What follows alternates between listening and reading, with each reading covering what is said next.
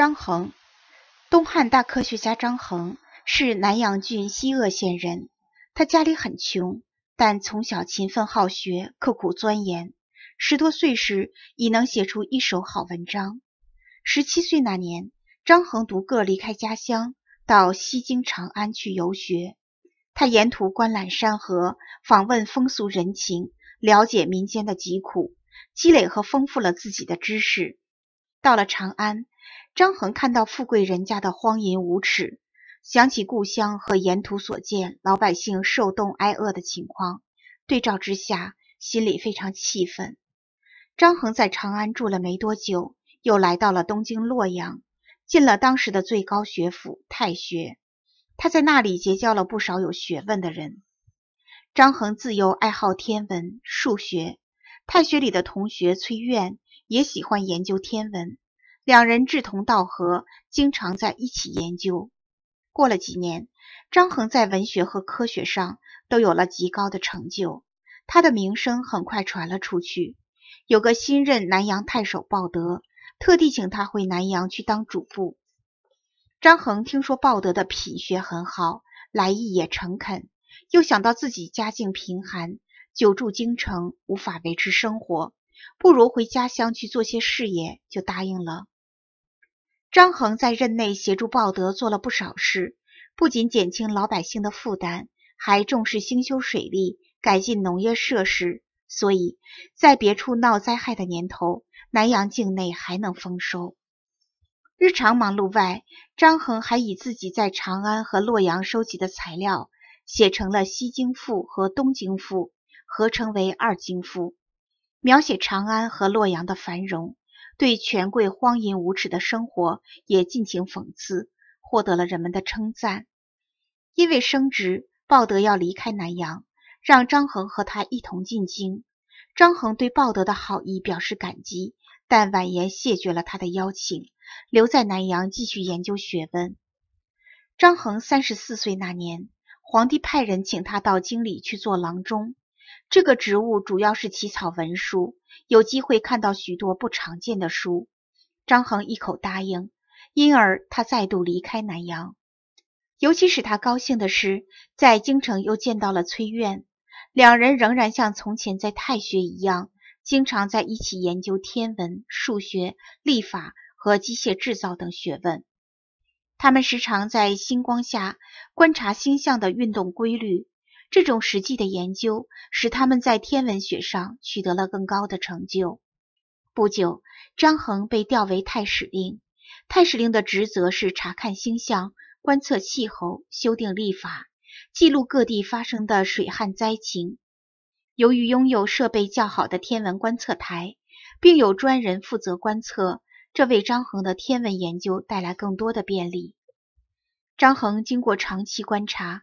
知道了日月星辰在天空运行的规律，并且明白了月亮本身不能发光，而是受到了太阳反射才发光的原理。他用这个研究结果写了一本叫做《灵线》的书。在这本书里，张衡已经用了赤道、黄道、南北极等名词，还画了一幅星图，记录了二千五百多颗恒星。并解释出月亮圆缺以及夏天昼长夜短和冬天昼短夜长的原因。当时天文学上有盖天说和浑天说两个学派，张衡是倾向浑天说的，认为天体像鸡蛋壳，地体就像壳里的蛋黄一样。他用自己的经验丰富了这一派的学说，并写在《灵线》里。许多天文学家认为盖天说正确。怎么也不能接受这新兴的浑天说，他们争得面红耳赤，可又提不出充分的理由来驳倒张衡。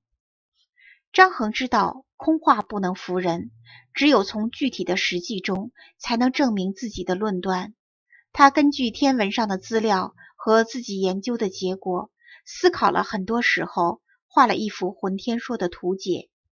可是，仅凭这一幅图解还是不能说服人。他想来想去，决定先用竹片做一个仪器的模型，实验准确以后再铸造正式的仪器。他把削旧的竹片刻着他自己推算出的天体周天，三百六十五度又四分之一，然后把竹片编成圆环，把它串联起来。他推算出的这个周天数字和今天的天文学家算出的地球绕太阳一周所需的时间相差很小。模型做成后，又经过了不断的试验和修改，终于成功了。张衡开始着手铸造正式的仪器。经过一年多的时间，世界上第一架自动的天文仪器浑天仪终于问世了。张衡把自己所知道的天文名称，像赤道。黄道、南北极等等，都刻在这仪器的内外各层圆圈上。张衡把浑天仪展示给众人看，他把铜圈慢慢转动，东边的恒星升高到地平圈以上时，西边的恒星就转落在地平圈以下，正和星象的运行相合。看的人口里称赞张衡的智慧，心里却还是半信半疑。有人说。如果这仪器运动的速度和空中的星象运行完全一样，才能令人信服。张衡绞尽脑汁想了很久，觉得只要在浑天仪上附加一个仪器，就能使浑天仪慢慢转动。他根据这个想法试验了好几次，但都失败了。一天，张衡忽然想到，如果用测知时刻的滴漏壶把它改装一下。使它和浑天仪配合，靠滴水的力量推动浑天仪慢慢转动，不就可以成功了吗？他在改装的滴漏壶上加了一只细铜的导管，导引壶里的漏水一点一滴的滴在铜仪上，推动铜仪慢慢的转动。可是铜仪转动的速度还是不能和空中运行的星象相符合。张衡继续试验了很多次。终于明白这里面的道理。原来漏水配置的远近和铜仪的转动速度一点也差错不得。他把漏水配置适当，把它固定了下来。这一来，铜仪的转动速度果然和星象运行相合了。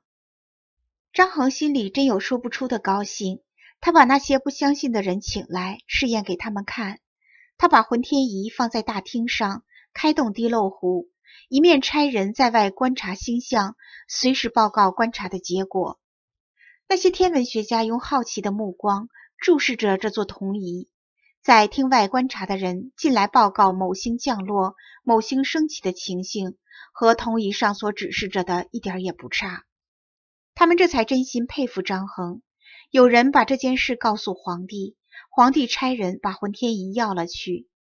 可惜这座浑天仪没过多少年就被毁坏了，就此失传，只有那张图解流传至今。张衡为了观测风向，又创造了候风仪，这仪器也是用铜铸成的，状如一只衔着花的铜鸟。这座候风仪安装在五丈高的竹竿上，可以随风转动，鸟头正对着风来的方向。这仪器和欧洲人发明的候风机相仿。但候风机的发明时间要比之晚一千多年。张衡又从侯风仪联想到指南车，原来古代指南车的制法在那时已经失传。张衡运用了齿轮的原理，在车上装了一木人，不管车子向何方转动，木人的手永远指着南方。接着，他又应用这一原理，制造一种计里鼓车。